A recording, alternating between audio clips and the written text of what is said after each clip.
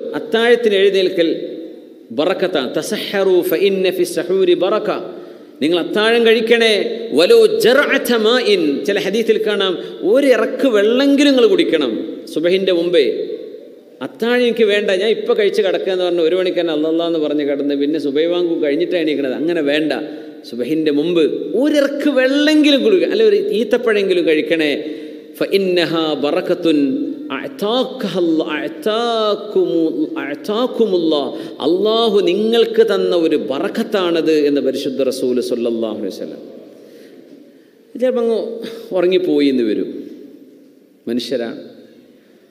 അവർക്ക് സഹർ കഴിച്ച കൂലി അള്ളാഹു നൽകും.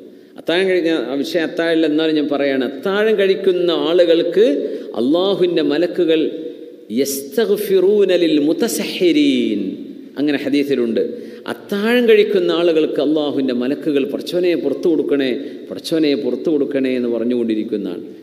സുഹാനല്ല ആരോഗ്യപരമായിട്ടും വളരെ ഹൈറാണത് മുത്തനബി തങ്ങൾ പറഞ്ഞത് എല്ലാ നിലക്കും ഹൈറല്ലേ സുബഹയുടെ മുമ്പുള്ള നേരം. അതെന്താ പറയുക രണ്ട് എൻഡിൽ നമ്മുടെ ഭക്ഷണം നിയന്ത്രിച്ചാൽ മതി.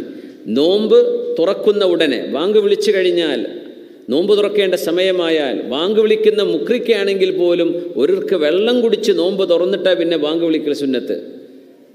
നിസ്കരിക്കുന്നതിന് മുമ്പ് എന്ത് ചെയ്യണം? വെള്ളം കൊണ്ടെങ്കിലും നോമ്പ് മുറിക്കണം. അത്ര ഈത്തപ്പഴം കൊണ്ട് അല്ലെങ്കിൽ വെള്ളം കൊണ്ടെങ്കിലും എന്ത് ചെയ്യണം? നോമ്പ് മുറിക്കണം എന്നിട്ടാണ് നിസ്കരിക്കുക. ആ നേരത്തെ ഒരു ഭക്ഷണം. അത് കഴിഞ്ഞ് പിന്നെ ഒരു ഹെവി ഭക്ഷണം ഇല്ലാണ്ട് സുബഹിക്ക് തൊട്ട് മുമ്പായി നമ്മൾ കഴിക്കുന്ന അത്താഴ സമയത്തുള്ളൊരു ഭക്ഷണവും ഈ ഒരു ഇഫ്താറുമാണെങ്കിൽ നോമ്പിൽ ശരിക്കും അങ്ങനെ ഭക്ഷണമുള്ളൂ. പക്ഷേ ഇടയ്ക്ക് ഭക്ഷണം കഴിക്കൽ ജായിസാണെന്നാണ്. അപ്പോൾ നമ്മൾ എത്രയൊക്കെ ഭക്ഷണങ്ങൾ ഉണ്ടാക്കും? ഞാൻ അതിനെപ്പറ്റി പറയല്ല. ഒരുപാട് ഭക്ഷണം ഉണ്ടാക്കൂലേ? തരിക്കഞ്ഞൊക്കെ ഉണ്ടാക്കും നാട്ടിലല്ലേ? എല്ലാ കുട്ടി ക്ഷീണിച്ചിട്ടുണ്ട്. പിന്നെ പാക്കഞ്ഞ് വേറെ തറാവി കഴിഞ്ഞിട്ട് വേറൊരു തരം ഭക്ഷണം. ഇങ്ങനെ ഒരുപാട് ഭക്ഷണം ശീലിച്ചു പോന്നിട്ടുണ്ട്. ഇപ്പോൾ അതൊക്കെ നിർത്തുക നല്ലത് അല്ലേ പണ്ടൊക്കെ തടി വെക്കുക എന്ന് പറഞ്ഞാൽ വലിയ കാര്യമാണ്. ആൾക്കാർ ഭയങ്കര ഉഷാറായിരുന്നു തടി വെച്ച മനുഷ്യനെ മുതലാളി എന്നൊക്കെ പറയാം. ഇപ്പം തടി ഉണ്ടെങ്കിൽ പൊണ്ണത്തടി എന്നാ പറയാം? പെണ്ണ് കിട്ടണില്ല ചില തടിയന്മാർക്ക്. എന്താ കാട്ടണേ? തടിയുള്ള പെണ്ണുങ്ങൾക്ക് കല്യാണം വരുന്നില്ല. അപ്പോൾ ആ ഒരു തടി വെക്കണ ഭക്ഷണം കഴിച്ചിട്ട് ഇങ്ങനെ തടി വെക്കുക എന്നുള്ള പരിപാടി ഇപ്പം ഇല്ലല്ലോ എന്തായാലും. എന്നാൽ പിന്നെ ഭക്ഷണം ചുരുക്കല്ലേ ഏറ്റവും നല്ലത്?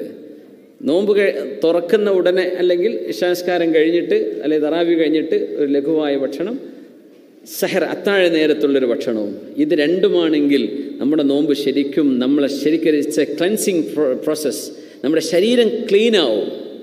ഇല്ലെങ്കിൽ ക്ലീനൊന്നും ആവില്ല വെറുതെ അട്ടിക്കട്ടിക്ക് ഭക്ഷണം കെട്ടി വെച്ചിട്ട് ബോഡി അടങ്ങേറായിട്ട് എന്ത് റെസ്റ്റാണ് നമ്മൾ ആമാശയത്തിന് കൊടുക്കുന്നത് അപ്പോൾ ഒരു റെസ്റ്റ് സാധാരണ ദിവസങ്ങളിൽ കിട്ടുന്ന റെസ്റ്റ് പോലും പിന്നെ റമദാനിൽ കിട്ടുന്നില്ല. അതല്ലേ അവസ്ഥ? അപ്പോൾ അതുകൊണ്ട് എന്താ കാര്യം? ഇതൊക്കെ നമ്മൾ അറിയുന്നതല്ലേ. അപ്പം എന്ത് ഒരല്പം ചുണ്ടും ചുരിയൊക്കെ ഒന്ന് പിടിച്ചു വെച്ചിട്ട് എന്ത് ചെയ്യുക? ഭക്ഷണം കുറക്കുക തന്നെ. അള്ളാഹു തോഫീക്ക് ചെയ്യട്ടെ. എന്നിട്ടൊന്ന് ലൈറ്റായിട്ട് നമുക്ക് വിവാദത്തിലേക്ക് ശ്രദ്ധിക്കാൻ കഴിയും. അപ്പോഴാണ്. ഇച്ചിരി ക്ഷീണമുണ്ട്. ആദ്യത്തെ രണ്ട് മൂന്ന് നോമ്പൊക്കെ ഇച്ചിരി ക്ഷീണമൊക്കെ ഉണ്ടാവും. പിന്നെ അങ്ങ് മഷാ അല്ല പിന്നെ പെരുന്നാൾ വരുന്ന അന്ന് വരെ നോമ്പ് കൊടുക്കാനൊക്കെ തോന്നും. ആവേശമുണ്ട്. പക്ഷെ പെരുന്നാളിന്റെ അന്ന് നോമ്പ് കൊടുക്കൽ ഹറാമാണ്.